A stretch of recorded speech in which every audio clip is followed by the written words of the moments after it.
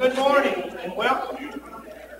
I'm Larry Rossini. I'm the director of the Tennessee Small Business Development Center. We are one of the partners here in the chamber, and our job or our function is to introduce great speakers such as Steve, amongst a lot of other things.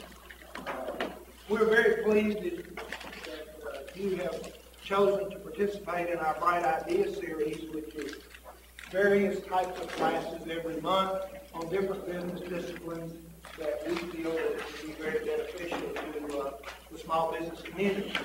And we couldn't start out the season with a better presenter than Steve Herzog.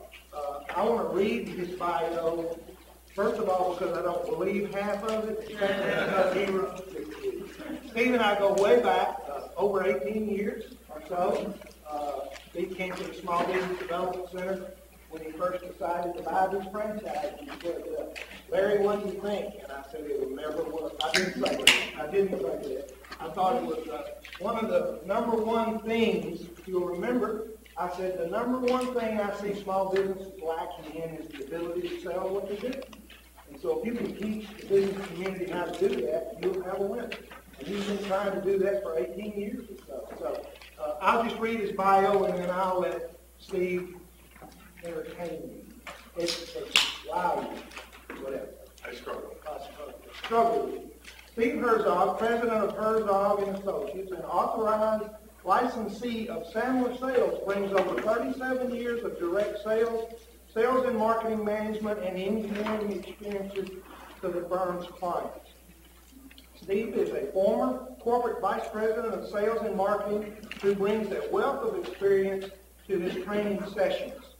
Steve earned his bachelor's degree at State University College of New York at Buffalo and in industrial engineering, and he also holds a master's degree in business from Niagara University. Having sold to Fortune 100 companies as well as small businesses over the last 20 years, Steve is an experienced management professional in not only sales, but in marketing management, strategic planning, product development, and manufacturing engineering. Steve left the corporate track almost 18 years, established Herzog and Associates, a licensee of Sandler Sales Institute. His organization helps professionals and companies learn more effective non-traditional sales management strategies for their business.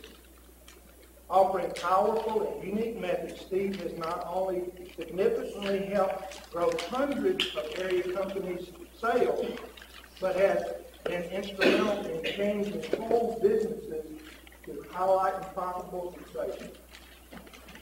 Steve remains in the top 10% of 280 franchises worldwide in performance and is past president of the Franchise Advisory Council Executive Committee representing all Sandler franchises worldwide. Please join me in welcoming Steve Herzog. Thank you. Thank you very much. It's. Um, I don't know what happened to these three people, they were really going to get hammered. But uh, uh, I want to make this as uh, much value as I can for you all here today. Uh, you are in a class or session, if you will, that's going to be involved in, in selling, the dynamics of selling. Uh, are you all in the right place? Are you all happy to be selling with this house? Yeah, good, okay. Well, what I try to do in the next hour and 20 minutes or so is I'm going to give you all I got in terms of helping you out. Obviously, an hour and 20 minutes is a whole heck of a lot, given the fact that training is usually ongoing for up to three years and probably, uh, probably 200 hours of uh, training that we provide to our clientele. Um, but I'll give you some snippets, things I think you can walk away with and hopefully use that will be of value to you. Um, You're going to notice as we go along, a lot of what we discuss is going to be about human psychology. Uh, the foundation of what we have and how we've developed our selling processes and what we learn has more to do with dealing with people than anything else because if you really boil it down, all we're doing when we're selling is dealing with another person or another group of people. And the dynamics of people with people is what selling is all about. So what I like about what I share is that it's not just regarding selling. It's regarding communication. It's regarding life. It's regarding how you deal with your spouse or your children. Uh, you, you, typically see it overflows into those areas. Because all it is, and all that selling is, is really understanding people as best you can. And that's the foundation of what we teach, and you're going to see some of that here today. Before I get started, because this is what I hate when I'm in your shoes and I want to learn something, is I want to walk away something from me. In order for me to do that, I want to learn a little bit from you all. So this is what I'd like to do. Is you all came here for a reason. Um, you're looking for something. I want to see if I can't deliver on that. Does anyone have on their mind something they'd like me to address with regard to selling? From the time you pick up the phone to talk to someone, to the time you go through the process of meeting them with them, maybe multiple times, and either getting the sale or not. It- It's within that realm. I'm not going to address marketing issues here today. It will be sales related. But from the time you pick up the phone to the time you get business or you don't, what's bugging you? What's causing you challenges? Quick, yes, sir. Is there any way to find out what they're not telling you that you really need to know? Yeah, they're hold, they hold back, don't they? Um, so, uh, if I, if I could reword what I think you're saying is, how do I, how do I get them, do I get them to open up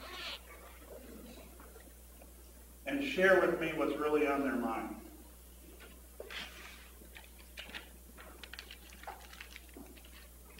Is that okay if I say that? Yeah, that's good.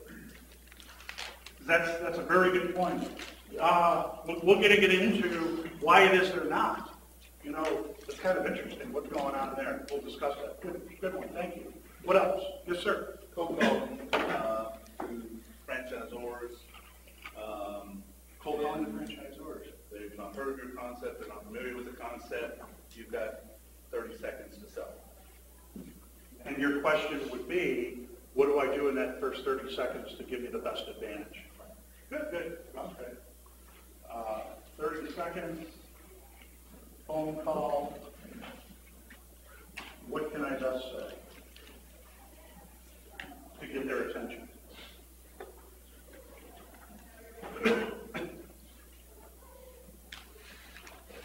Or gain their interest, you get the idea. Very good, that's a good one. Yep, a lot, yes, sir.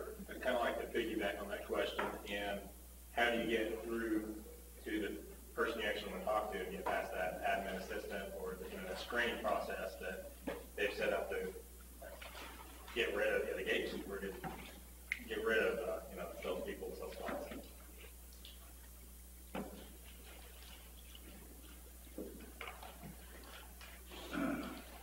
So how do you get through that gatekeeper, if you will, or receptionist, or whatever, third party that may be hindering you to get to the real person you want to get to? What could you say? And I'm guessing this is over the phone.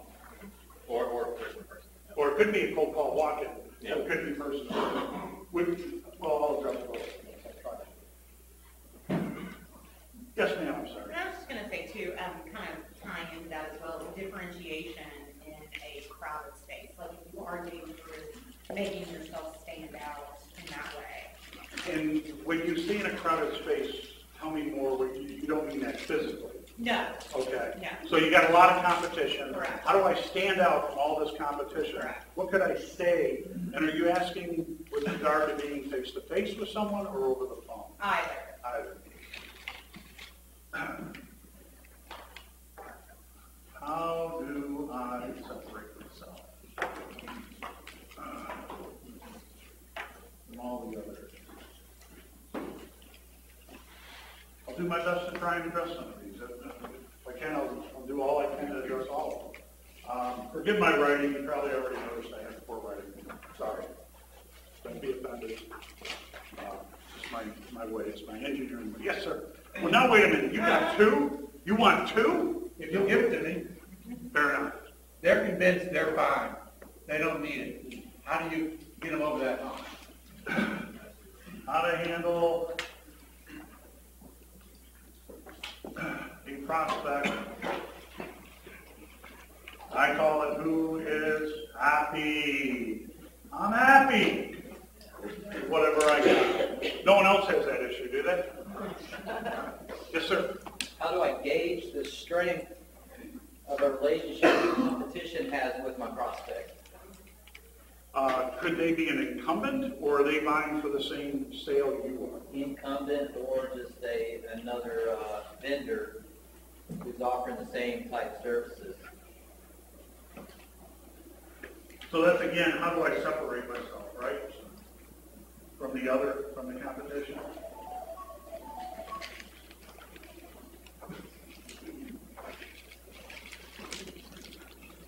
All right, that's a good one. Man, Joel, I I'm so glad you've got some questions. Very good, thank you.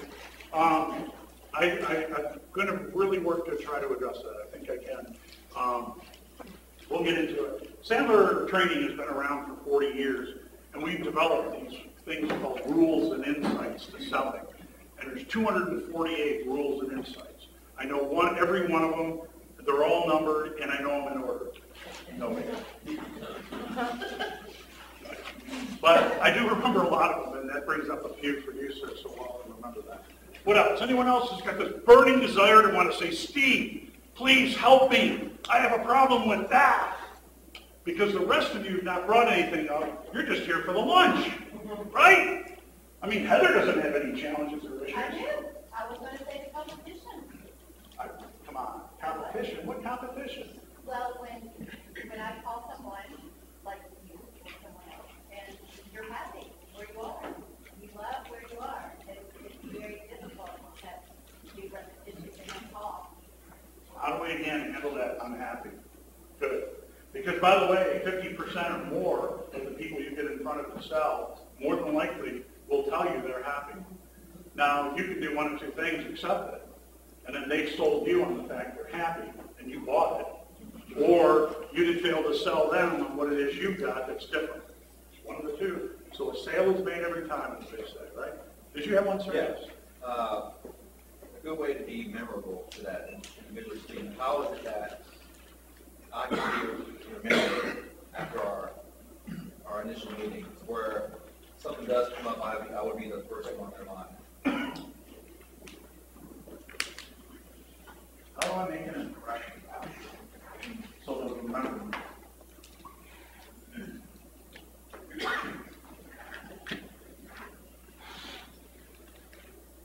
It's going to be very much in concert with the one above. Okay, Thank you. Yes, sir? I know going in that I'm gonna be about ninety-nine percent of the time significantly higher than any of my competition. When you say higher, you mean like smoking marijuana higher? Yeah. I- No, I It's only in Colorado. know. Uh, no, price, price. Price! So you know you're like the highest price. Yes. And your question is? Get them past, looking, How do I get them past the price tag? Well, first of all, would they know before they met you that you're high priced? You just they that down. They don't. But it ends up being a big issue sometime in there. All right, so here's rule number one that comes to mind. It's not in order here, but of the 248 rules, I, I'm going to help you right now on this one. All right? If there is a bomb and it's going to blow, let's diffuse it before it blows. Another way to put that is, if there's an elephant in the room and we're not addressing the elephant, let's bring it on out of the corner and let's look at the elephant, talk about the elephant, feel the elephant, and discuss the stinking elephant. In this case, my price is always high. I'm higher than almost all the competition. So here you go, and this is counterintuitive. Some of the things I'm going to share with you all today, you're going to walk away and go, that guy is crazy. I'm crazy smart, but understand it's all a process. And what I'm doing is giving you little vignettes. One vignette, my friend, is to really be kind and discuss that up front. Let's diffuse the bomb before it blows up. And your name is, sir? Jay, Jay, yes. So I might say, Jay, uh, I'm glad you you invited me in here today. Uh, Obviously, I'm going to ask some questions. I want to learn more about, you know, what your interests are. But can I share something up front that comes up regularly when I meet with good people like yourself? Can I talk about that now? You say, Yes. Sure, yes. Jay, I'm expensive. In fact, you'll find that I'm probably more expensive than anyone else out there. Should we continue talking? Boom. What would, if you're going to be an average customer you get in front of, Jay, what might they say? Uh, the average customer does want to, that's use That's it. So then they would say what in this role play, if you don't mind a role play moment? Uh, we're looking at price, that's, you know, we're looking at bidders, we're getting bids. I'm You know, once they start saying bids, Unusually more expensive. What should we do? give me, give me a quote, let's put it in there. It's gonna be high. I'll leave that up to you, whether you want to leave it quote or not. It sounds like you're not sure you want me to leave it, quote, if it were high. We'll probably just move on. I, I'm sorry to hear that. I appreciate the fact that you're being straight up and honest with me. Thank you for sharing that. Could I ask you one last question? Why do you think people pay what they pay for our product, for our service? If you had to guess. Uh, quality of the service, please. Quality of the service. That's very good. We're the best. No one's better. Good point. Anything else? May not can- We may not can afford the best. You may not be able to afford it, and that's fair, and you may not. And that's okay. Usually we find that out down the road, but it sounds like this is going to be a short meeting. So uh, what would you like me to do next? Why don't you go ahead and leave us a quote? I'd be happy to. What would you like it to, what would you like it to be in there, or what would you like for it to be in there? What were you looking for? What do you want in the quote? Comprehensive service for our facility. Could I, could I ask you a few questions on that, Jay? What are you looking for in comprehensive services? That's where I'm gonna start. He hasn't kicked me out, so I might as well continue the conversation. Now he knows what. What's one thing he knows? I'm high priced. But he's still talking to me. Now, I'm not saying I'll get this business, I may not.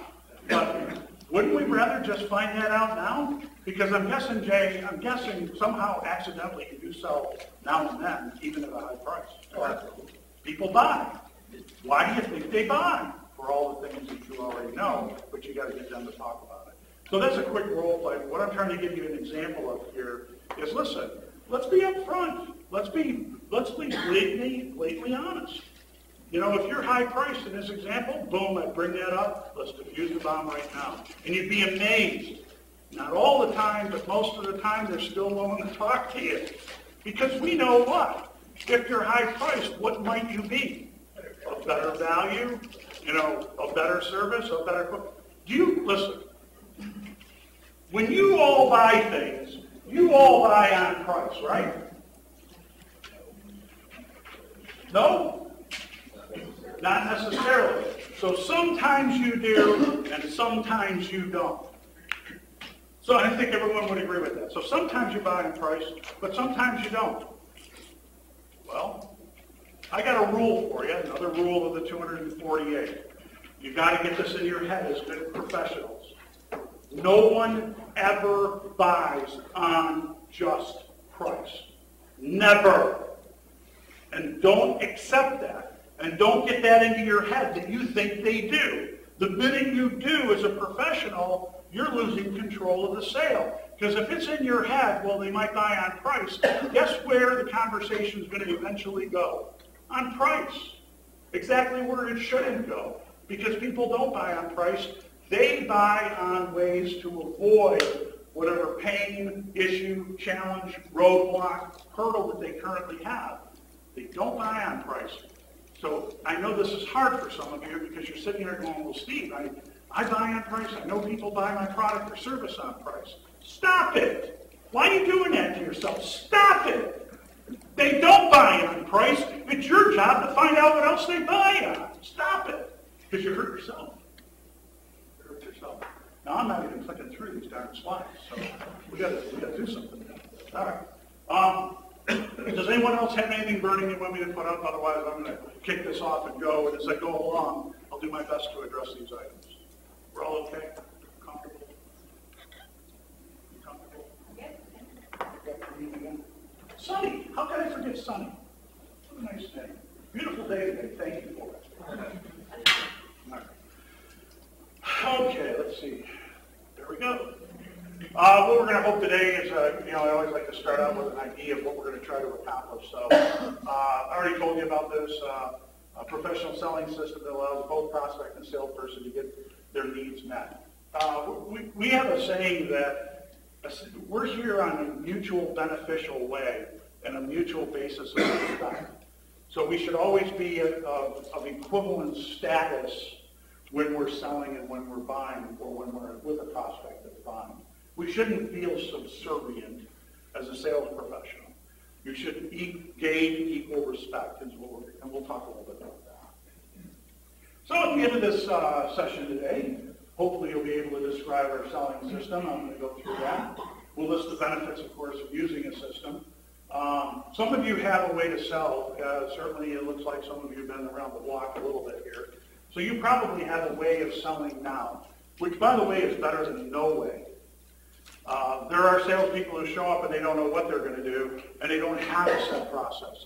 I'm here to tell you this, and you're going to learn more about it. If you don't show up with a process to sell, you're going to default to the buyer's system of buying, and it isn't pretty. Because we'll talk more about what goes on when people buy. Would it make sense if we knew more about how people bought? We'd do a better job being able to sell to them? Keely, what do you think? If we knew how they bought and knew more about that, maybe we could learn more about how to sell them. So that's what we're going to learn today, is how people buy. All right.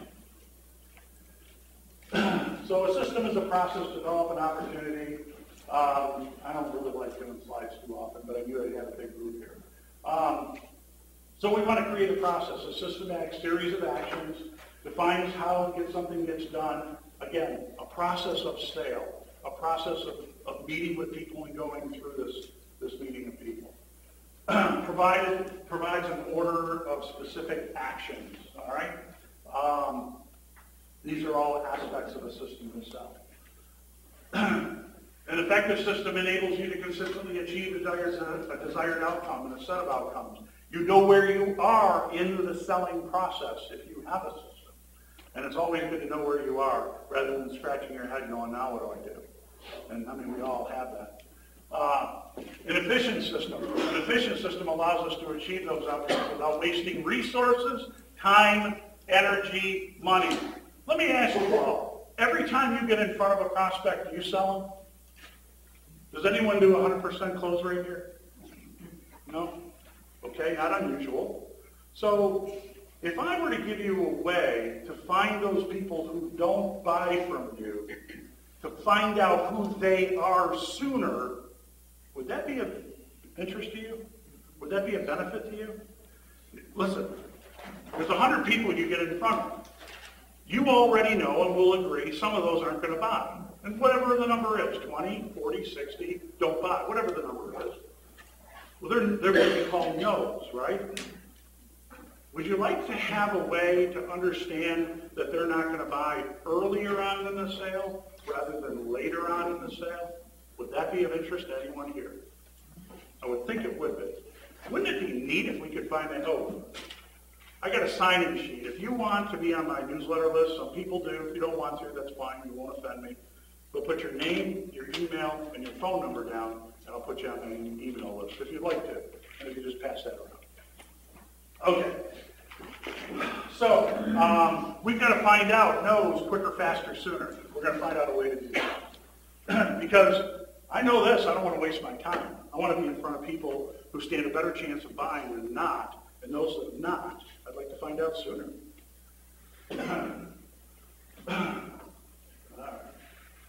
So benefits of the selling system. I, I feel like I'm kind of hammering it here. We're going to just, you know what? You got to have a system. I don't need to go through all these slides.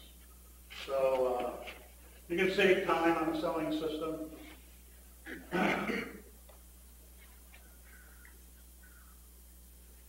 really banging this hard, of course. You stay on track with the selling system. You know where you are in the process. You can recognize problems early on so that they can be addressed if you have a system.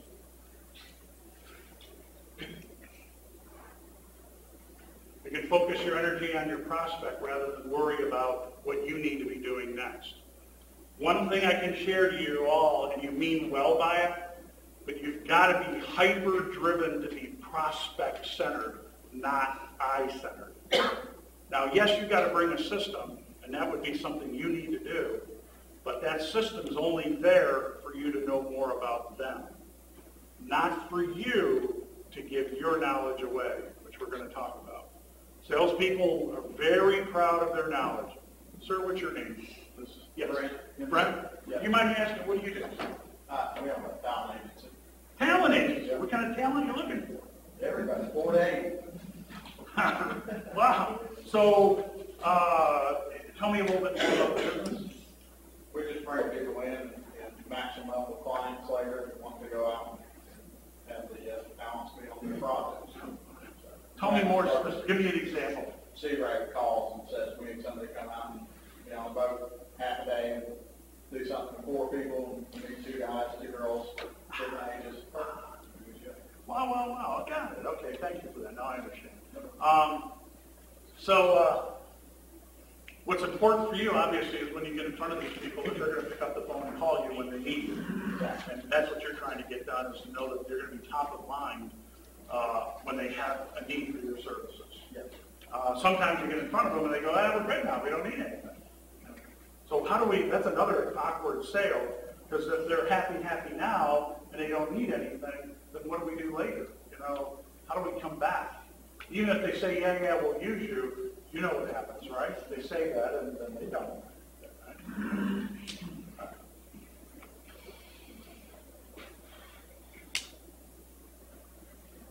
We want to duplicate successful behavior, you'll do that in the system. Uh, Saves you and the prospect time in doing so.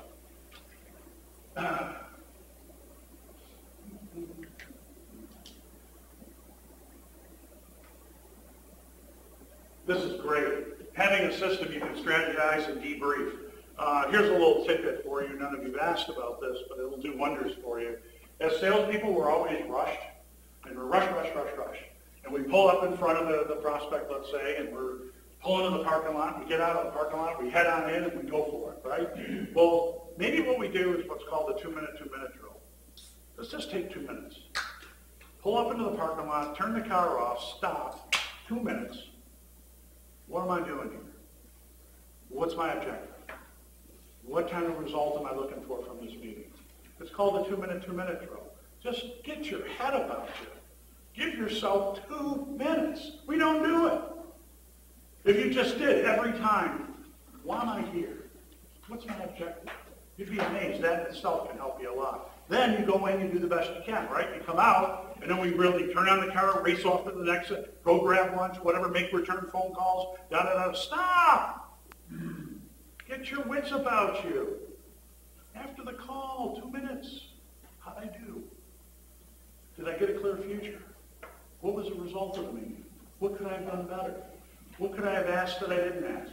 What should I have asked? How did he feel or she feel? What was my sense of the call? Ask yourself these questions. Just take two minutes. Be amazed if you did that, the learning curve goes up because you're now self-coaching. And you all can self-coach to an extent you can.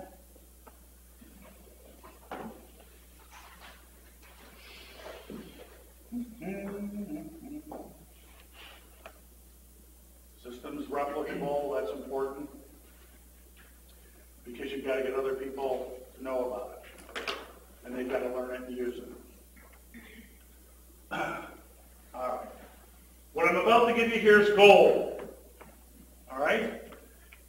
This is gold. You didn't even ask for this, but it will help you in your sales calls, all right? When you have a meeting with someone, let's say it's a sales meeting, a sales call, you get one of four outcomes in every meeting. One of four outcomes, nothing less. One outcome is you could get a yes, right? Yes, they're going to buy, blah, blah, PO, all that great stuff. Or you could get a no. No is they're not buying. It's, I'm, I'm not buying from you, I'm buying from so-and-so, whatever it may be. Which, by the way, are you okay with getting no's? I mean, you know you're going to get some, right? So why, I want you to start to think about something. I want you to get no's more regularly. I want you to own no. I want you to love no. I want you to hug no. I want you to really be okay with no. I want you to love getting no's. And I mean, I'm not just saying act like it. I'm saying in your heart, really, really be okay with really getting no's. And you will be amazed. There are ways to get to that level, and when you do, you will find a whole new way of selling. Because it relinquishes you from all the pressure you put on yourself, more than you know in the sale. Listen, one of the things buyers hate are needy salespeople. You all know when you're buyers and you're in front of a needy salesperson, we know what that's like. It's it's slimy. It's good gosh, right? So I want you to be the opposite. You don't need it. I want you to start to build a mentality is, I'd love to have this business, but if I don't get it, I'll get the next one. It's okay. In fact, this is probably something I'm not going to get. In fact, I'm showing up and I think it's going to be a no. I know this sounds strange. It's counterintuitive. It's not what you normally do. Listen, if you could really start to think about this, there's whole new vistas that open up in sales if you really understand this concept of really being okay with getting a no and actually asking questions along the lines of getting no. It'll do wonders for your sales. Are you all ready to just get out of here now? I mean, this is, uh, this is, this is ridiculous. It's difficult to get people to say no. It, it is, because why, why is that, particularly in East Tennessee, right? Eh, You know what, so what do they say if they don't say no? This is what- We've heard this, go ahead. Check back with me, call me, email me, send me some brochures, give me information, give me a proposal, call me next week, call me in two weeks, call me when my renewal comes up, blah, blah, blah, blah. It's all crap, and you're taking it. Our, our job as pros is think about this, as I, you know, everyone thinks they gotta sell when they're in sales. Guess what? The number one thing you're not supposed to do, sell. Stop it. I know, I know you're gonna throw up. Some of you are about to get really mad. My problem with it is you think you're selling and what you're doing is you're pushing your agenda. The minute you're pushing your agenda, people don't like it, right? So, um, you know, I, I, it is it Dan? Dan, if you don't mind, we'll just do a mini role play, but, but I'm a sales guy, Dan's a customer. I'm selling him a copier, all right? But this is how it goes. It's a very simple sale. So he's an owner of a business, Dan, Steve Herzog, XYZ Copiers. You know, we got the best copier in town. Are you familiar with us? We're XYZ. Have you ever heard of us? Or you we're a great company. We do an awful lot. Your copier doesn't look like it's doing too well. How long you had it? Had it for a while, it's okay. Well, it's okay, but it's probably not working as well as it could. I mean, you don't have any problems with it. And there. Well, we got a copier that's the best copier out there. Let me tell you, do you know what your cost of ownership is on that copier? It's a lot of money, isn't it? And what are you, what are you spending in cartridges, et cetera? Uh, about three hundred. Well, we got, we got a product that's so much better, more efficient, et cetera, and you know what? You'll pay half the price on the ink itself. So what do you say we give it a try? I could bring a demo in here, we could work it out, and you know what? At the end of that, you could either buy it or not. Why? Come on, we're the best in town. And I'm pushing, pushing, pushing. And the more I push, Dan is pushing the opposite way. Get out of here. That's the old way of selling. It's been around for decades and decades and decades.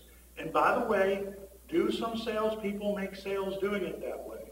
Yes, they do. Could they do better if they did it a different way? Yes, they would.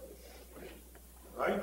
So rather than show up and push my agenda on Dan, I'm no longer going to do that. I want to understand his agenda, his interest in the copier, how it's working, asking questions, finding out information, and working to do the best job I can to be prospect-centered, not me-centered, not I-centered. All right, so we get a yes, we get a no. Listen, if you don't get a yes and you don't get a no, then you must get, well, here it is for what we call a clear future. I call it a clear future.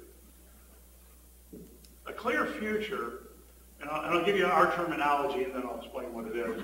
But our, a clear future is this. If the guy says, I'm not buying, I'm, I'm sorry, I'm, I'm not sure I'm going to buy from you, I might, but not now. call me in a week. This will happen, right? So you didn't get a yes and you didn't get a no. But you got, call me in a week. All right. I'll, I'll start to help you make money right now.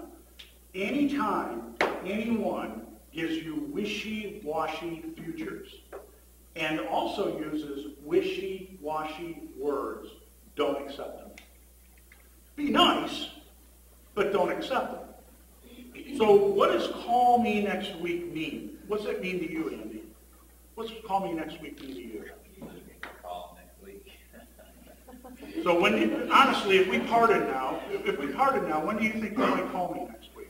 What would you typically do? Wait, Monday afternoon. Monday afternoon. See, that's Andy's next week. Monday afternoon. That may not be my next week. My next week could be what? Friday. Could be, could be anything. Sounds unclear, doesn't it? So no longer accept call me next week. You might then say what? What time? What time? I don't know, afternoon. What, you know, what day of the week, what time is best for you? Uh, I don't know, Wednesday, I guess, afternoon would be great.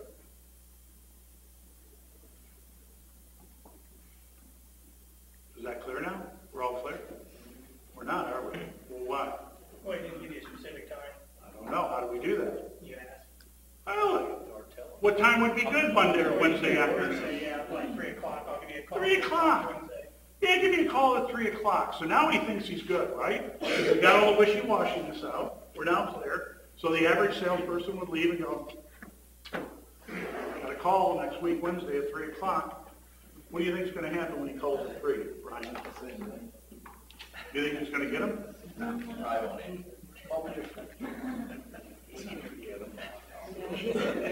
Yeah, he's. We know what this is like. So, so you- we've got to learn a process. By the way, these people, they'll do this to put you off. And let's be real. If we're being put off and it's really no, let's just go for no. That's what we say in Sandler, go for no. You know, I'd be happy to call you back at 3 o'clock next week. Let's just pretend that I do that. Will you be here? Will you answer the phone? I might. See, wishy-washy again. Listen, all of you, people are going to say to you, maybe, kind of, a little bit, pretty soon, possibly, I think, maybe, uh, tomorrow, tops consideration, looks good, very good, sounds good, really interested, that's all crap. So we got to get rid of that, and you've got to ask when they say those things, what they mean by that. Don't accept wishy-washy words. Now, one way I teach this and train to help people is rather than to get rid of accepting wishy-washy words, what we need to do is we find a lot of times what you don't know in life, the way you are and way you buy and the things you say affect how you sell. They're interlinked. Psychologically, you need to know the way you buy is the way you sell. All right, there's a direct connection. So guess what? You use a lot of wishy-washy words. You know, your wife says, uh, when you coming home? Ah, pretty soon. And your wife accepts that? Okay, well, that's good. How long will she be accepting that for, right? But you're using them. So guess what happens when you use them? Someone gives them to you, you take them. So a good way to get rid of wishy-washy words and not take them is to not use them. Get them out of your vocabulary. Be, be succinct in your speech. Be succinct in your expectations, and you'd be amazed as that, that will start to overflow in the way you sell. Don't, don't accept wishy-washy words. That's a rule, by the way. Rule number 117. Um, so, uh, back to the call me next week. What we want to do is get a clear future. What do we mean by a clear future? If you don't get a no and you don't get a yes, what you want to do is get a clear future, which is an appointment to meet with them again. And you would do that in addition to what we call an upfront contract. I don't expect you to know that, but the upfront contract is basically an agreement on what we'll be discussing when we get back together again in the second meeting, in this example. All right? So we have a clear future. So they say, call me next week. I'd be happy to. Let me ask you, we're meeting here today. Wouldn't it be better for us just to meet face to face? Now, they may accept that, they may not. You, where's the best place to sell? Let- Let's test this out. So here we go.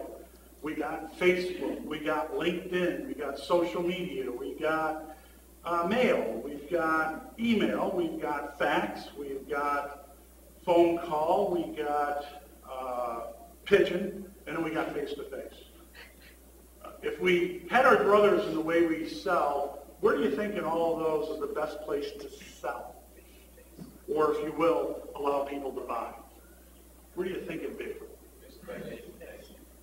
Okay, now, that should be strong. I should be here, I mean, I should be blasted against these bricks. Because the best place to always sell is face-to-face. So, if someone says to you, call me next week, what did we just learn? Face-to-face is the best place to sell. None of this call me next week. Now, you gotta be nice, but I'd be happy to call you next week. Rather, would it make sense for us to get together and talk? Now, I'm fifty percent will accept it. Fifty percent will say, no, no, no, just call me. Well, you tell me, if you say that to a salesperson, I don't want to meet with you, just call me, what are you possibly saying? Oh, No. yeah. Yeah. So here we go. Smells like no. Let's defuse the bomb. So what's the bomb? To ask you a question, Dan, thanks for telling me you want to call me. You do not want to meet. Usually when I hear that, it means that you're just really not interested. You could just tell me that now? We'll park on this. What do you want to say in this role play? You can say anything. No, No, you're not interested. no. Fair. So here we are now. You want me to call you, but it seems like you're just really not interested, so there'd be no reason to call you. Could I ask you a question? Sure. What caused us to get together to start today? Why did we even get together? I always bring the prospect back to what prompted them to have an interest to begin with. It's always a great way to go back.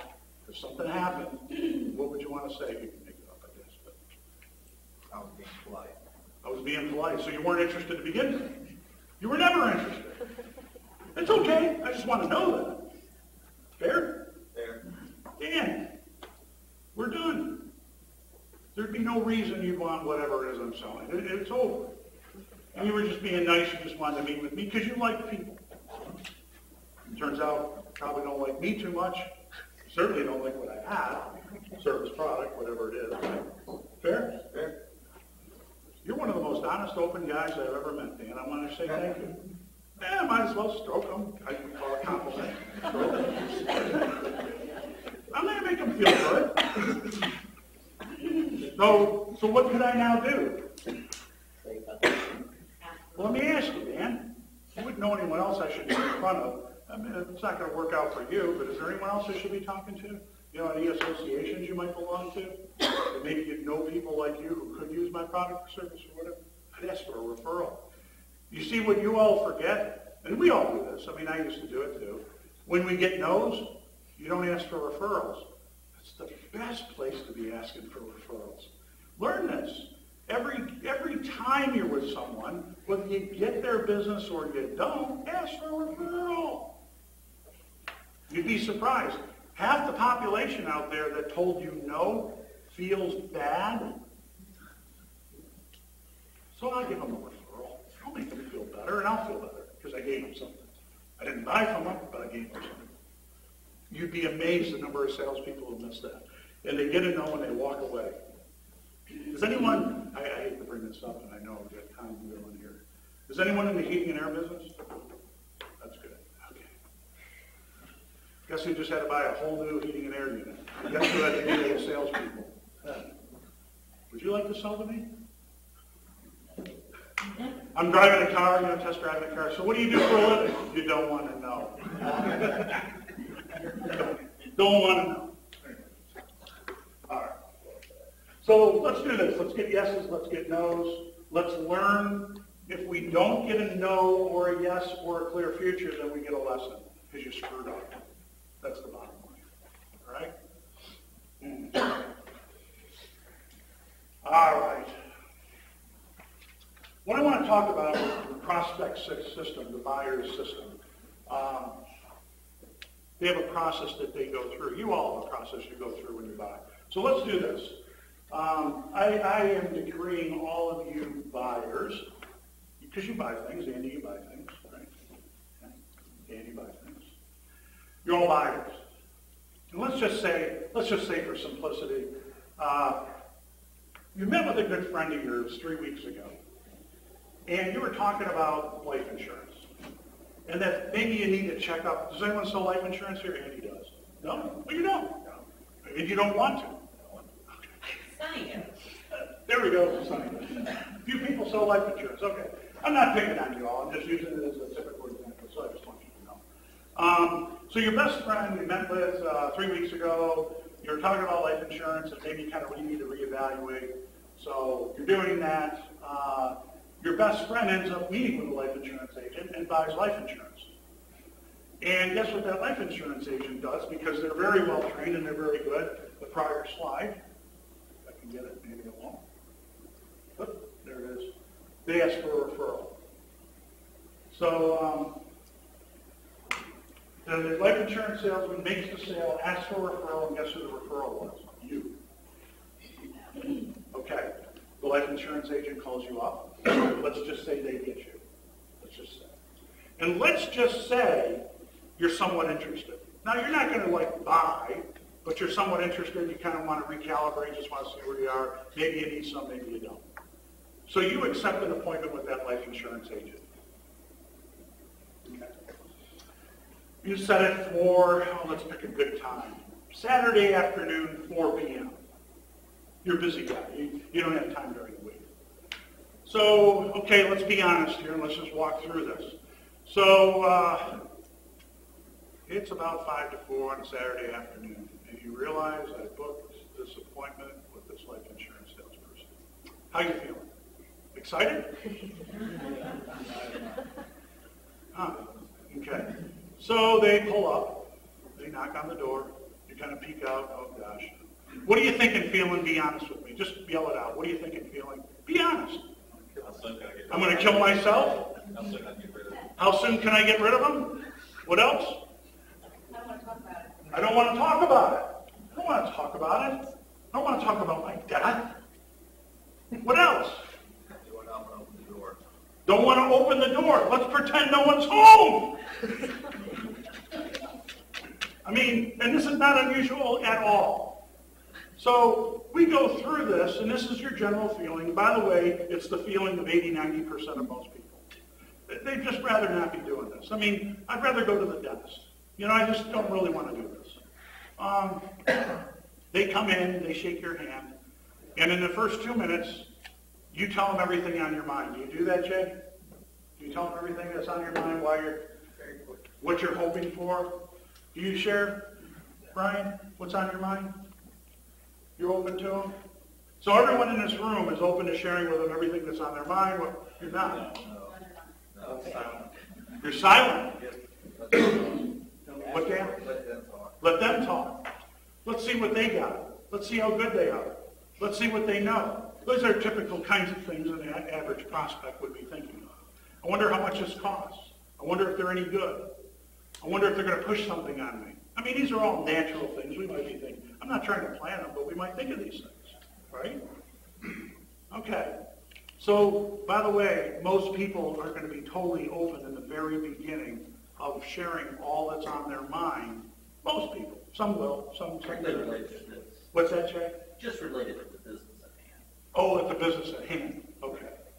So, um, what we find is people generally hold back, right? They hold back, they don't share everything. We have a term for this, it's called mislead. Let's see. Um, well,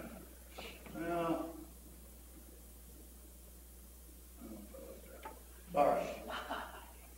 So we have a mislead. Sometimes they may even do worse than mislead. Have any of you ever done worse than mislead to a salesperson? You can be honest here. It's okay. Ma'am in the very back, orange shirt. Is it orange, red? Forgive me. Coral. Coral, of course. Of course. I should know. Of course. Forgive me. Your name? Lindsay. Lindsay. Thank you. Have you ever done that to a salesperson? To a salesperson? Yeah, between you and me. Definitely. That's nice of you to share that. Thank Thank you. Amongst all these strangers. Lindsay, how did it make you feel when you did that? I mean, how did you handle the sleepless nights, the throwing up blood, the, the anguish of many days of having done that? How did you handle that guilt? I survived. You look like you did. She did. So what we find is interesting is know that step one of a prospect system or a buyer system, when I first meet you as a stranger, or of course if you meet a salesperson for the first time as a stranger, I'm going to be holding back a little bit. To whatever degree depends on the individual, but I'm not going to share everything on my mind. You need to know as a sales professional, people who get together with you for the first time who don't know you will be doing that, more than likely, to some degree. Okay? It's okay. By the way, when you do this to this life insurance salesman, does that make you a bad person, Brian? Doesn't make you a bad. Are you a bad person? I don't think you don't seem like a bad person to me. Yeah, there you go. There you go.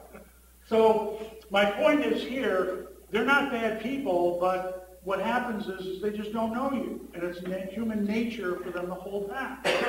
And they may even do worse. They may lie. Okay? But it's okay. They're not bad people. So what happens now, again, you all are buyers of this life insurance. Who knows more about life insurance in this example I've got? You or the salesperson, the life insurance sales? Who knows more about life insurance? Probably the salesperson. Fair. Good. Okay, so if you were someone interested in life insurance, what would you probably be doing with that salesperson? Asking a lot of questions. You would. Who said that? Good job. Ask a lot of questions. And what would that salesperson more than likely do? Answer them. Who said that? Very good, Dan. Good. So they answer them. And when they answer them, what do we know about salespeople who really know their stuff? What do they do when they answer? Talk a lot. Who said that? Very good. They talk a lot because they're very knowledgeable. Very knowledgeable. You know, good question between universal life and term. Let me tell you a little bit about why you might want to look at term versus universal life. Not a lot of people do. Let me explain what I mean by that. Bob, itty bitty bitty five, ten minutes go by, and I answer it in spades. You got any more questions? right? Salesperson then answers those questions, etc. Okay? So this is the way it's going. Let's just say the salesperson asks a few more questions of you, and they leave, and they're going to come back to meet with you and your significant other, spouse, wife, husband, because they don't want a one-legger. They want they want they, both people there. They come back in that second meeting. What do you think they usually come back with? Application. Okay, they'll come back contract application. Before they do that, what do they need to now provide? Who said that? Proposal. They got to send, they got to provide a proposal. So here it is. Beautiful proposal, three ring bound. It's in color, not black and white, Heather. We're going to make this special for you. And, and Heather, notice we have you on the, a little picture with, do you have a dog, cat, Heather? We put that on there if you have one? And it- it's very pretty. And, and it's got some weight to it. You know, It's got, it looks good. It's very nice. Let me tell you a little bit about what we have here for you today, and I'll walk you through. Now, we're going to provide this proposal. So they listen because they're somewhat interested. You tell them all about exactly what they need and it fits for them, and da da da da da. And what do I really probably care as the buyer, you're the buyer here, what you really care about? Price, good, price. So you're waiting, waiting, waiting for them to go through all this stuff, and on the very last page, at the very bottom, et cetera, is the price, premium in this case.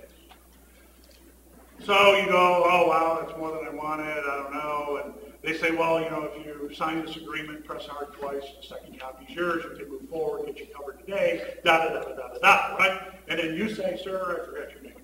That's Drew. Drew, and then you say, what, Drew? Press hard here, we'll get you going, get your family covered, et cetera. You say, I'm gonna need to look it over. Thanks, Drew. Um, All right, well, how long are you gonna look it over for? Couple days. Couple days? Okay, a couple days makes sense. Uh, should I call you in a couple days? So here we go. You'll say, sure, come on. Yeah, sure, call me. Hell, I'm not gonna answer the phone. Call me. Happy to. Okay, so I leave, I'm Mr. Salesman, I think I'm doing a good job. And, uh, you know what, I come back to the office, boss says, how'd it go? Great. He said to give him a call in a couple of days, I think we're really good, boss. We got this one in the bag. It's coming. And you know what, I got 50 more like them. This is gonna be great. I mean, when these things pop, man, I'm going to be in room, I'm going to be in the riches, baby. I'm talking new car. This is going to be fantastic. 50 of these you've got. You know what you got? Nothing. You got nothing. Okay, so let's just go through. And I'm not picking on you, Drew. You're okay? I'm not hurting you. No, I'm good. All right, so Drew says I gotta look at it for a couple of days. Let's even say that he's possibly still interested. So if you are, Drew, what are you gonna do? I am, actually gonna look at it. You're gonna look it over? You, anything else you might do with that information I left you, Drew? I throw it on the counter and let it get covered up by. Oh, let me- forget about it. Maybe that's what I do. I bury my head in the sand when I make decisions and hope something happens. That's a way. If you were somewhat really interested in buying, what might you do? Cost comparison. What? A cost comparison. How would you do that? So your agent, An agent? Go online? You can do all those things. So Drew, if you were someone interested, you might do that, right? So let me get this right. You called me in, you took one meeting from me, you jacked me around for that meeting, I came back the second meeting, gave you my proposal, my knowledge, my information, and my premium. You said come back another day, and now you're taking the information I gave you and you're using it against me. Are you doing that, Drew? Drew, when you do that, you feel guilty, you throw up blood, you're very uncomfortable. Do you? Yeah. Well, like my wife.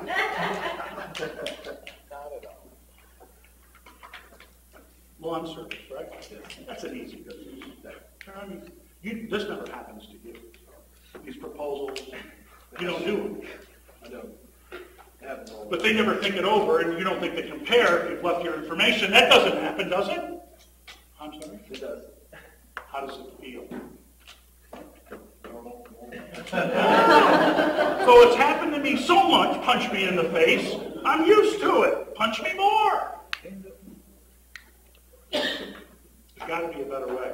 All right, so what happens is, you put me off in the beginning, maybe you do worse and you lie. The second step, by the way, when you collected my proposal, my information, my knowledge, is you stole my information and knowledge. Another term we use is you, you took unpaid consulting from me. Has anyone ever had that happen? You provide your knowledge? I, I will be honest, raise your hand. Have you ever provided a solution to a customer and then they went somewhere else? That doesn't happen in banking. Right. Doesn't happen, I know it doesn't happen in insurance. Right. Why are we in this business? Why don't we just become postmen or something? Post people? Let's just, why are we doing this to ourselves? All right. So, mislead, take information, good unpaid consulting, put me off again. Drew, that's what you did to me. You said, call me in two days. But did he ever have any intention of me really, uh, or did he really have any intention to talk to me? Probably not.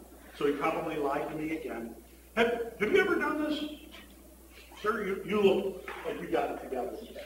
Not really. So, so have you ever had a situation where you may have put a salesperson off on a decision and have no intention of buying from them? Yeah. But now, one last time, you don't suffer the guilt that Drew does. You don't. All right, here we go, it's kind of sad. And then, got pretty funny, isn't it? Ron, does this happen to you? Sure. You like it? It sucks. There's gotta be a better way here. There's gotta be a better way. They steal your information, they steal your knowledge, they steal your pricing, and then they go somewhere else. Now, here's a good question for you and a rule. So whose fault is it that this happened? Whose fault? Someone said it. Mine. Mine, Mo, you take it to the darn bank. It is your fault. It's all your fault. You did it. You did it. Now, you did it because you didn't know any better. You didn't know another way. So we got to find another way. And that's honestly where we're going here. What we're hoping to do is helping you on some of these things on the board is we got to have a system. We're already sold on the fact we need that. But wouldn't it be cool if we had a system to combat this thing called the prospect system? Because I assure you, every time you get in front of a prospect, and you all more or less have agreed that you do this to some extent, you're going to get this every time to various levels. So we need to accept the fact if you take anything out of today, think about this. Every time you get in front of a prospect, they're going to do this. They're going to hold back. They're going to try to get unpaid consulting. You know, geez, Heather, what would you recommend I do in this situation? Da, da, da, da, da. Heather knows. She's been in banking forever. You know what Heather's going to say? Well, what I would do is da, da, da, da, da, da, da, da, blah, blah, blah, blah. That's fantastic. Let me take more notes. What did you say? Da, da, da, da, da, da. Heather leaves. I go to my other bank and I say, well, you know, they say they can do da, da, da, da, da. Well, yeah, well, Steve, what's it going to take to keep you? We can do better, blah, blah, blah. All of a sudden, Heather follows up two days later. Steve, how's it going? We met, da, da, da, da. Yeah, Heather. Yeah. I think I'm going to just stay with who I got. But it was so nice to see you. And if I ever change banks, I, I'm going to call you. I assure you, you're at the top of the list. But here's another rule for you. When a prospect starts giving you compliments like, you're a lovely person, Heather. Really love meeting you. What a nice meeting. You're such a good person. You seem like such a great guy. Guess what? You're getting no. They're prepping you for the no. So be careful. Be wary. We say in sales, if someone's being real nice to you, and by the way, that's what the people really like to do with unpaid consulting when they extract it. Gosh, Drew, you seem like such a good guy and you're so knowledgeable. Could you tell me more about that? and I'm like really interested. A really interested prospect is no prospect at all. That's a rule. That's a rule. You better have your guard up. They're going to suck you dry. And you're going to give it to them because you think you're helping them. And you are buy something else from someone else, not you. You're helping. I'm all upset. What time is it? Twelve forty. It's what? Twelve forty. Well, I think my watch stopped. Okay. David Sandler, who started Sandler back 40 plus years ago, 45 years ago, is a very nice man. And uh, kind of interesting if you want to know, he's out of Baltimore, Maryland. And uh, uh, the, the short story, if you want to hear it, he was in the cookie and cracker business with his father.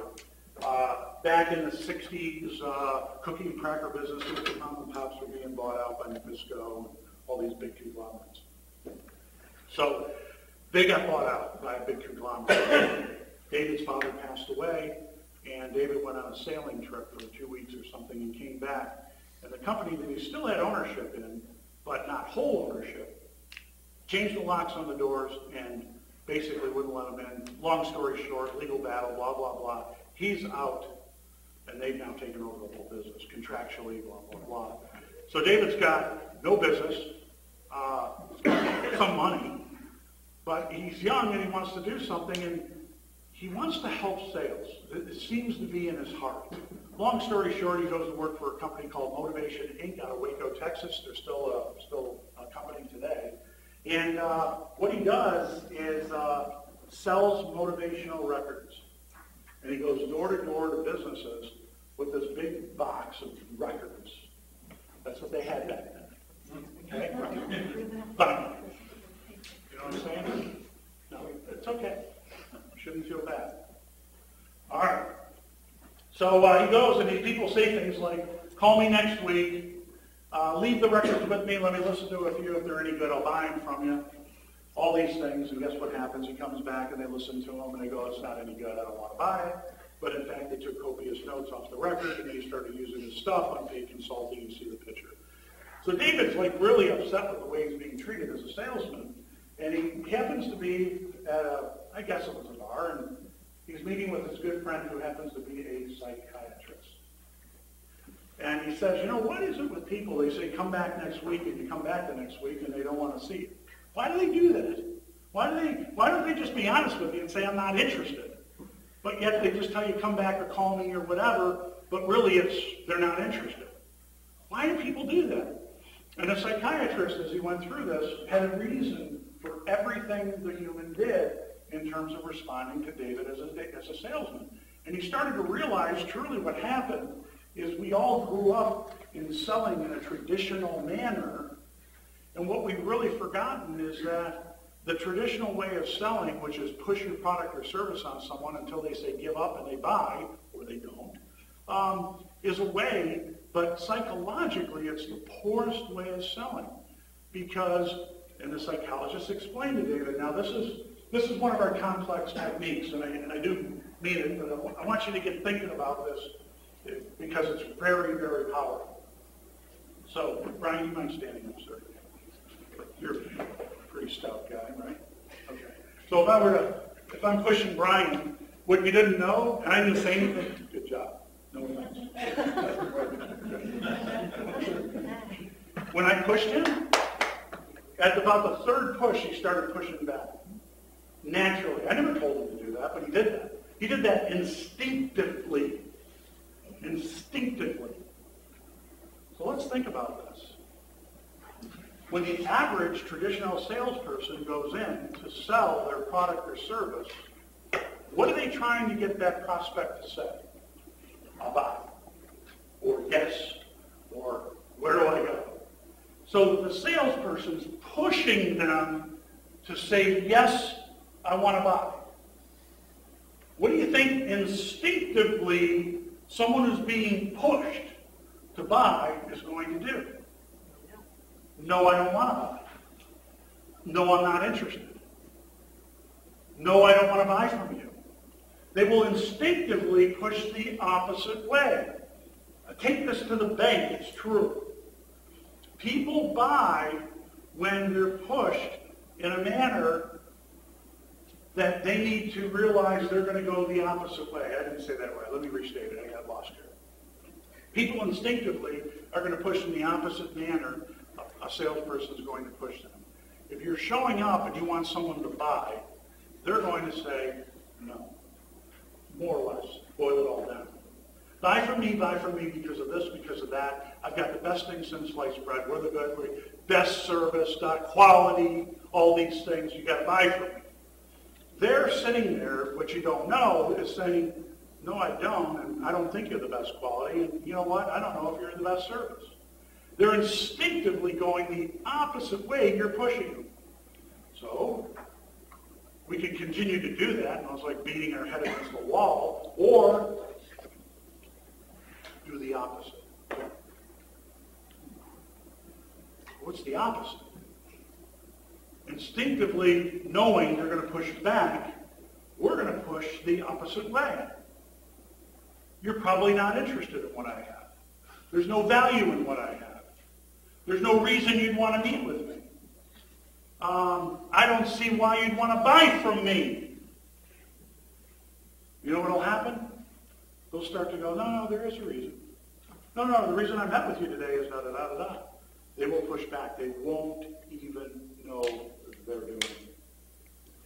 This is high-level psychology that we teach. It's one example. The reason I bring it up is because the psychologist started to share with David the human basis of how people process and how people buy. And people buy in spite of the salesperson, and when the salesperson's pushing their agenda, versus the salesperson who's smart enough to realize what I really need to do is get them to discover why they need to buy from me. Okay? They need to discover why. So, and if you don't mind, you mind if I pick on lawns? If, You know, It- So, so you come out, you're gonna estimate a lawn, I don't know, fertilize, cut kind of thing, is that what you do, cut, fertilize? Right? Pretty easy, pretty easy, straightforward, right? So, this is what happens, this is what happens. And I'm not picking on you, any lawn company. They'll show up, da-da-da-da-da, let me measure out what we got, da-da-da, see what it's gonna cost, I mean, did you have a budget for this? You might ask a few questions, I mean, have you had any particular problems with your lawn, whatever it might be. Okay, the bottom line is, they're gonna then say, okay, well, this is what we quote fertilization, cutting the lawn, da-da-da, every two weeks, blah, blah, blah, if it rains more, it might back that, or whatever, okay? And I'll sit there and go, okay, well, let me think about it. You know, just give me a call next week, typically, right? So what happens here is that whole dynamic, you meant well, but you never engaged the prospect. So this is, these are examples of what I'm saying do the opposite. All right? I want you to go to someone, and you're looking at their lawn, and it's the stinking crappiest lawn you've ever seen, let's say. Let's just say, really crappy, right? I want you to say, I want you to show up and do this. Nice looking lawn. Looks great. This is gold. What are they going to say? Brian, what are they going to say? They're gonna say, what's wrong with it? Or you're done, They're gonna- it looks bad, I don't need your services. Let's be real, honestly. You know, this lawn's not that bad. It really looks pretty good. I'm going to say this as a, as your, as the lawn butler. This is what I'm going to say. What would the average, be honest, what would the average person say? Now, is that good for me or bad for me? Are you crazy? It looks terrible. That's what most people are going to say. Now, is he going right down my system, my way? Perfect. And he is. Well, what do you mean it looks terrible? And then you'd say, See all the grass over there? fair point, I, I didn't see that. But that doesn't happen every year. You'd say? Been like that for years. I'm sorry, what? For years. I go hard of hearing, I make them say it twice, it's to my benefit. All selling gold. Selling himself on this. I don't need to sell Butler lawn. So let, let me ask you, I mean, if that's not a big deal for you, fair, I mean, so you got some dead grass or bad grass, that's not a big deal. Oh, it's huge, when we come out, the families out here, it looks terrible. Why is that bad though? That's embarrassing. For See his lawn? nice lawn. But it doesn't, it looks maybe a little better than yours. You're crazy. What do you mean I'm crazy? My lawn looks like crap compared to his. Now, is that good for me in selling or bad? It's good for me. This is perfect. And he's selling himself. I haven't even told him what I do yet. He's starting to go, wow, this guy, he's good. Honest to God, they'll start to sit there and discover, wow, this is really, this guy can help me. So how do you find that line between selling, them selling themselves and you looking confident at the beginning? Okay, fair point. And these are fair, that's a fair question. I'm giving you a sliver of a, of a concept. And now we could walk away and we could use this concept wrong. And I believe me, what I'm sharing with you, it could use wrong, be used wrong. The concept is called, I'll answer your question. We call this negative reverse selling, all right? This is the bottom line though. Negative reverse selling is like nuclear rocket fuel. If you use it right, it's very powerful. If it's used or handled incorrectly, it will blow up. And that's, that's his point, it's a fair point. So how do you get them to like you and be interested in what you got without sounding stupid or like you're an idiot, right? And that's, that's something you practice. It takes time. That's why our- training isn't, you know, one-day training. It's, it's an hour and a half a week for three years because we condition you to get better, better, better. It's like going to the gym, you know, better, better, better, better. That's, so to your point, this concept, you walk away from here, you go use it. I just, warning, asterisks, if handled incorrectly, it'll blow up. They'll look at you and go, are you some kind of an idiot? They will, but you didn't do it right. You didn't do it the right way. You didn't watch tone. You didn't watch way the way you said it. You didn't watch when you should have said it. So there's a lot of interplay there. So to answer your question, practice gets you to be the pro rather than the idiot. I know that's not what you really wanted to hear, but it's the truth. It takes practice. Practice, practice, practice. We practice a lot. Today's training, my Advanced President's Club training this morning, we did role play. There are some people in that class that want to throw up like crazy at role play, but it gets you better, better, better. And we're always sharpening the sword, sharpen, sharpen. So, anyway. Questions so far? I feel like I'm uh, adrift here. Does this, does this make sense, any of it? Yeah. Right. What I want to do is just go through some of the steps in our selling process.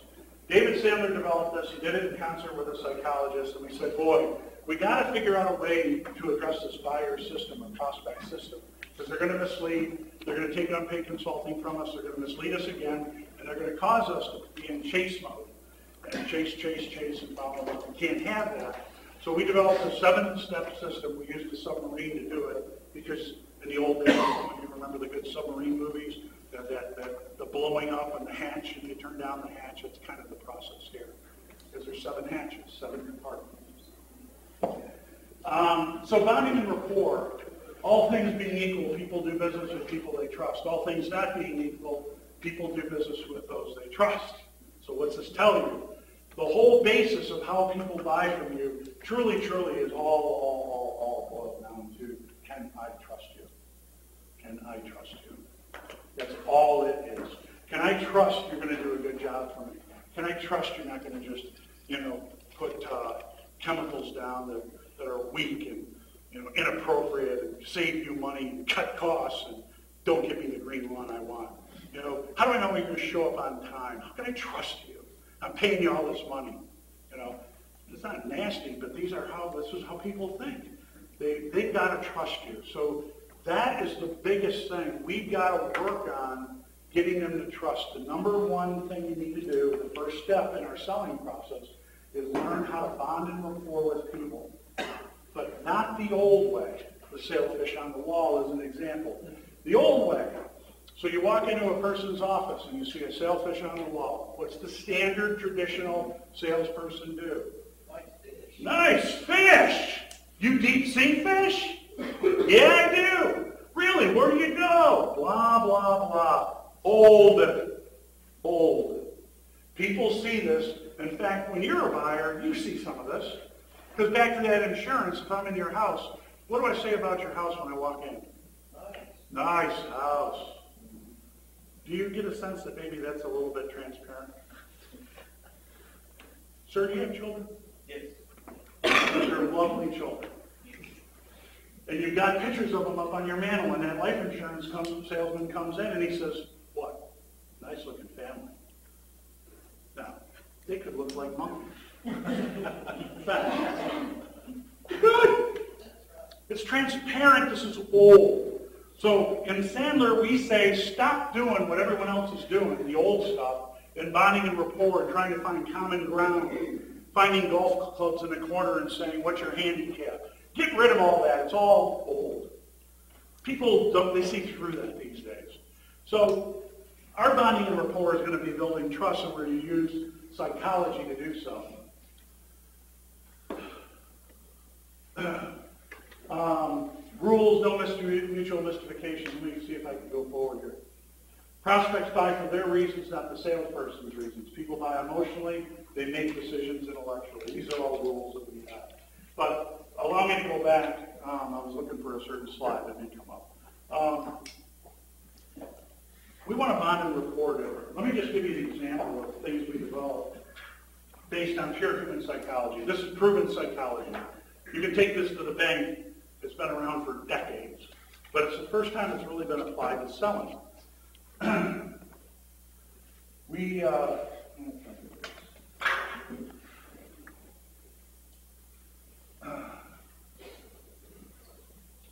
yeah. We call this the communication pie. It's been around in human psychology for the long, longest time. There are three ways we all communicate. Just three ways, real simple. We, we communicate physiologically. We communicate via tone, tonality, and we communicate based on word content. Okay? 55% of communication is physiological, 38% is tone, and 7% is word content. This is Take it to the bank, research is required. Fifty-five percent is physiology. So the findings of the study is that people communicate more based on the way you look than anything else you say or do. But it's the way you look. Okay?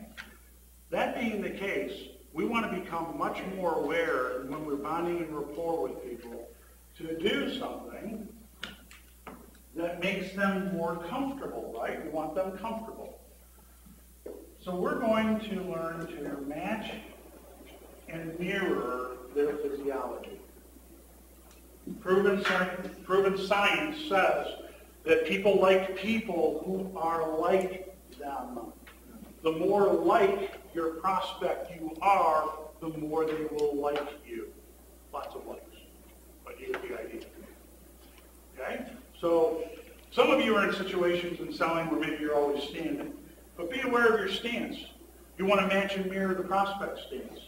A lot of you probably are in a, a business where you may be across the desk or in a conference room, etc. Be aware of your physiology. And what do I mean by that? Is be very aware of how you're dealing with them. If I'm meeting with Dan in an example, and Dan's sitting exactly the way he is, and I come in, and there are salespeople who do this, they don't know they're doing it. Dan, let me tell you a little bit about Sandler Training, who we are. I'll ask you some questions. I want to know more about what's going on in your world. Now, subconsciously, Dan's sitting there going, I don't like this guy. Bugging me. Something about him. It's all subconscious, by the way. This is you don't even do this consciously. But I'm telling you, Dan is not feeling me, baby. He's not. But if I do this, Dan, if I could tell you a little bit about Sandler training, maybe ask some questions, et cetera, learn more about what you're. Physiologically, I'm, I'm very similar. I'm leaning a little bit forward. My feet are apart like his. My hands are up here and available. I want to be very similar to him. Not to be exactly like him, but you'd be amazed. It starts to build bonding and rapport, and we're not even thinking about it, nor are they. Just very simple. So, and then Dan moves.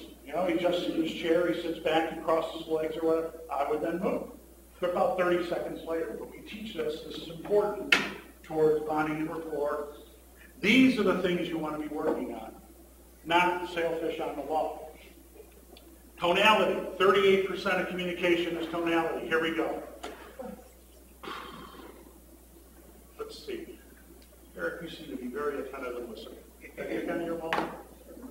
I notice you don't have a wedding ring. I was going to ask, are you married? No. For a reason? No. Don't. That's a joke. I get it. You won't. Uh, Sir, are you married? Yes, sir. You are. And your wife's name is? Stefan. Stefan. Tafanda. Nice name. Tafanda. So you're leaving the house in the morning, and you say, Tafanda, where are my car keys? You might get a certain response. Hear snoring. She's still asleep. How's that? Same way it's felt for 28 years. Everyone's got their own life. And if she happened to be awake, or he could say, Tafanda, where are my car keys? You get a whole different response. So you know this. If you're ch- children, you know the wise Alex, smart ass, forget my language, smart Alex I meant to say, child who sasses back, right? And it's not what they said, but it's the way they said it. It's the way they said it.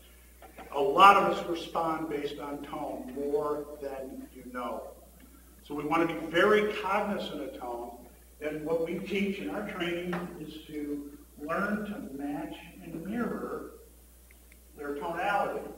Now, not to get too deep into things. What time, how much more time I have? Oh, you got all it. All day. You're nine. Ten minutes? But how much? Two after one. It's what? Two minutes after one. Two minutes after one? I'm in the office right now, so keep going. Keep going. Um, okay, five areas of tonality.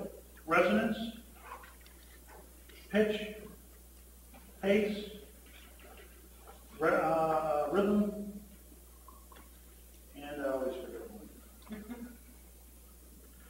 Resonance, pitch, pace, rhythm. uh, It's an easy.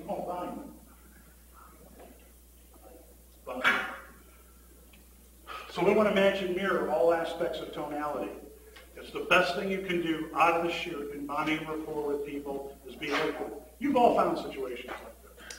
You've been in front of someone and you talk like this, and you say, I'd like to hear Jim talk to you a little bit about, you know, what we do, et cetera. There might be a prospect we talk like this, there are people who do. Now, Andy, do you think you coming in going, yeah, you know what, uh, let me tell you a little bit about what we do, you know, white insurance and how we help out people. You're gonna do that? That's not good bonding and rapport, Andy. So what are you do you?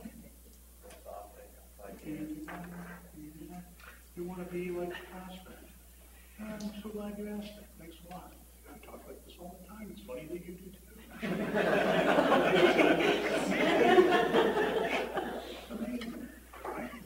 There are people who talk in rhythms. Um, I use uh, President Obama, the way he talks. If you listen, this is very important. These things all play. He talks chop. He talks some more. He talks chop. That's how he talks. So if you get in front of someone who talks like that, that's what you need to do, Drew. Talk like that. Yeah, good. And by the way, subconsciously bonding and rapport, they're going to like you more. And by the way, if they're going to like you, that's a better chance of you being able to sell them. I'm not saying we're into the trust area yet, but we're getting there. Okay? I mean, it takes a lot of time to get trust. All right.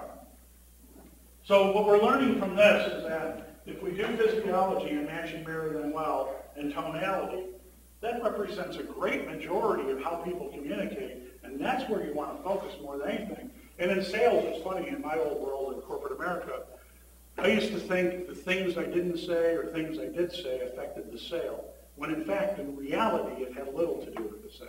It had more to do with how did I look when I was in front of them, and how did I sound when I was in front of them. It had a lot more to do with it, not what I said. So when you start to realize this, you start, wow, you know, there's a lot of things um, that we've got to be looking at. I don't know how that got out there, but no money, no sale. That's budget. That's a budget issue. But um, there are times when people don't have money. If they don't have money, then there's no sale. I mean, get, move on. I mean, there are some people who kick tires with you. You know, there's some people out there that are lonely. Yeah, come on by, Brian. Come on by.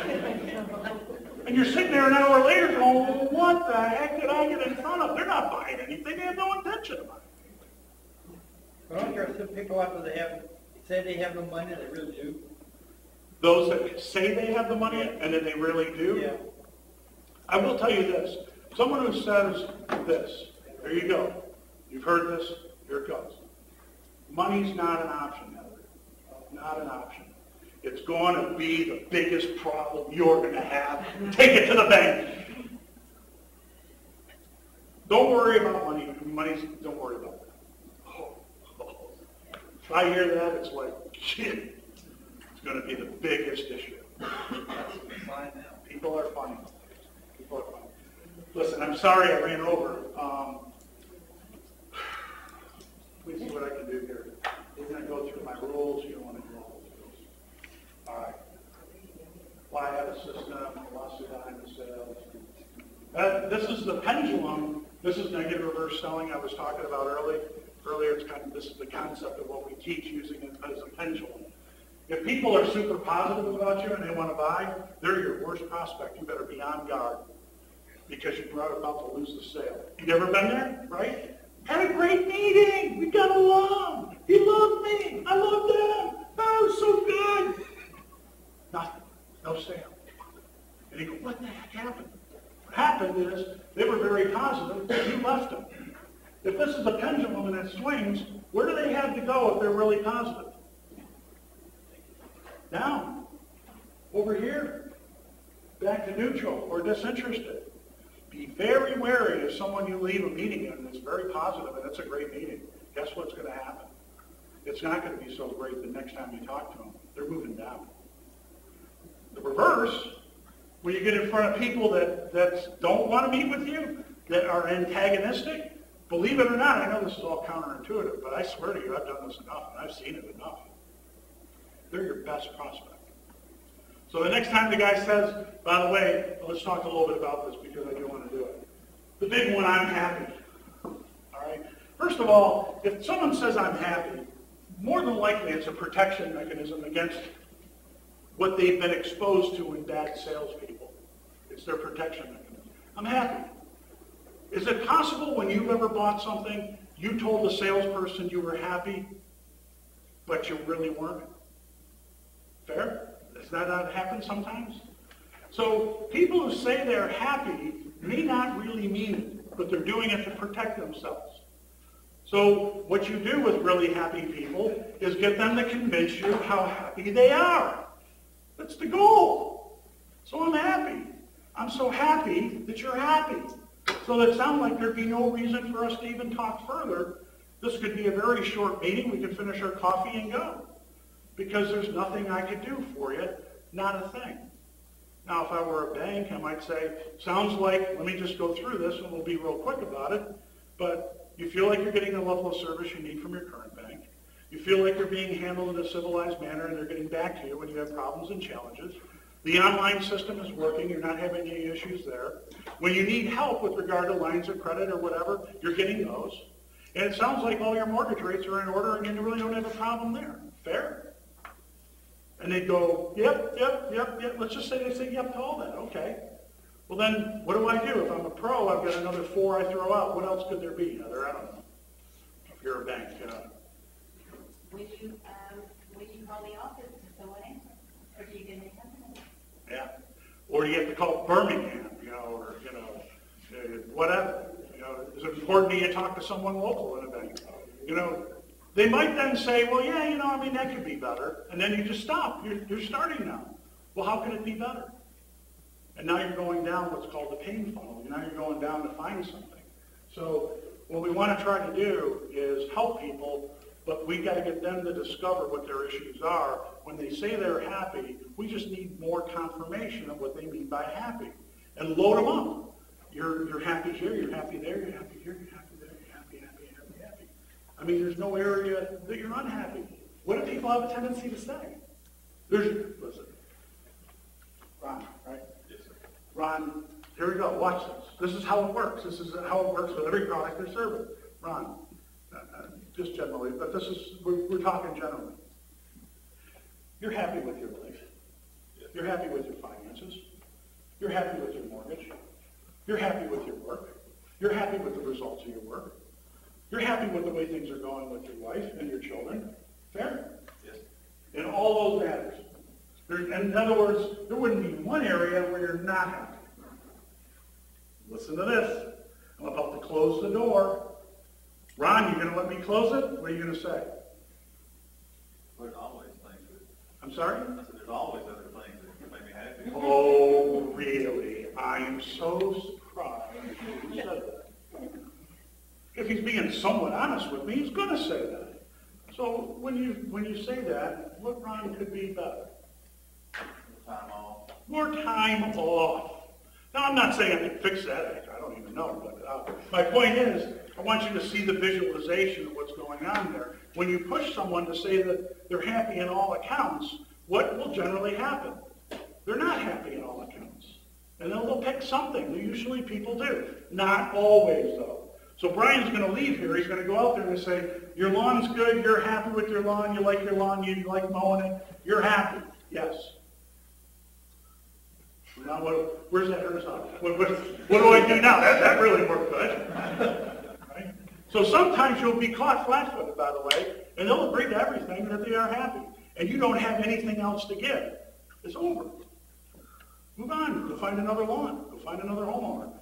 You should be going to every home next to them and across the street, religiously. If you didn't get a sale you did get a sale, next door, across the street, next door, across it, always. You'll get more sales. I didn't finish all of what I wanted to talk about. And I'm sorry for that. I talk too much. All right, let's just see. And we want to go.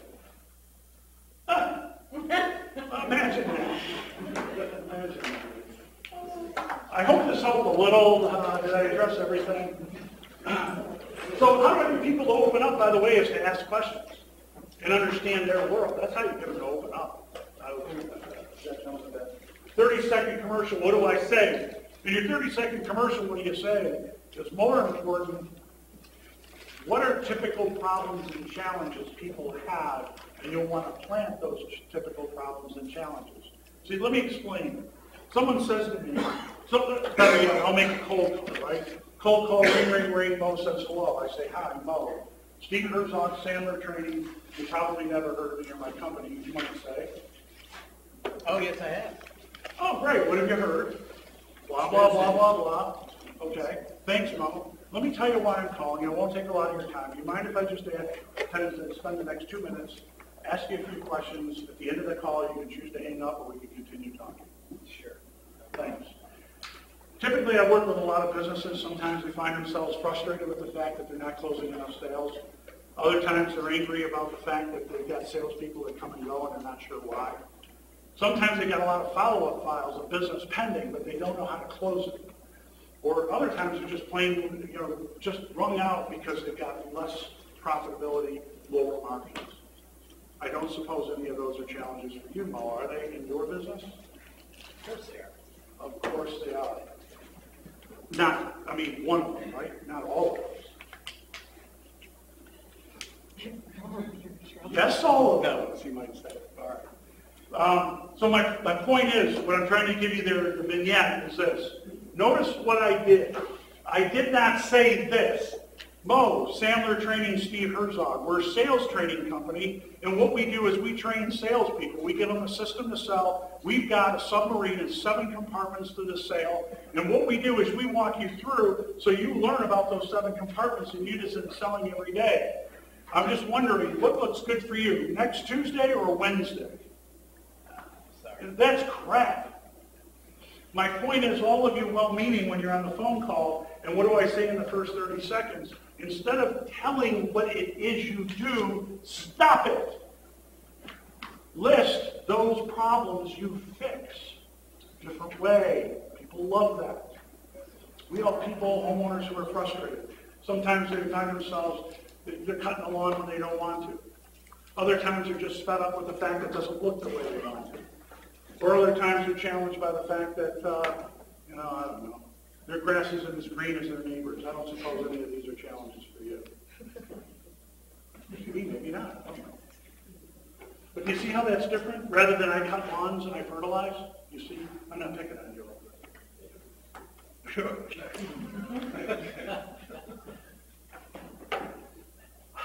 Getting past the gatekeeper is a tough deal. Um, uh, the biggest thing I can give you there, and it's not like I got all the answers. I don't want you to think I got all the answers. I do the best I can, truly. And by the way, everything I share with you today, it doesn't work 100% of the time, so know that. But it does increase your odds. That I know. It, it does increase your odds.